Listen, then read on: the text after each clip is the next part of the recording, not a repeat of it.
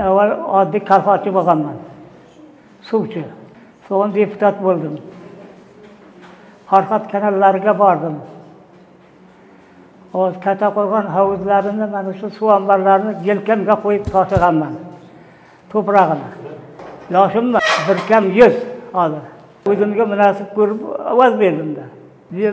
Bemunosib ovoz bersam bo'ladimi? Bo'lmaydi. O'zimni oyog'imni bir yozay, bir saylovdan ko'rib kelay deb çıkıp geldim de oğlum.